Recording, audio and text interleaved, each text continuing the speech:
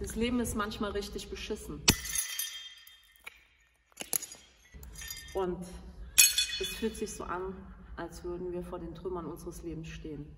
Hier ist der Ort, wo wir loslassen können und alles hinbringen können. Loslassen und hinbringen bedeutet in diesem Fall, dass wir einen Gottesdienst feiern, in dem wir diese negativen Erfahrungen, die unser Leben momentan oder auch schon in der Vergangenheit negativ beeinflusst haben, vor Gott bringen können.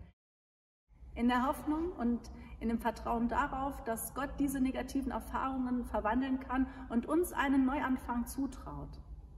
Bleib nicht auf Scherben stehen. Donnerstag, 13.02. 1830 in Überherrn, Wohnstadt St. Monika. Herzliche Einladung. Alle kommen.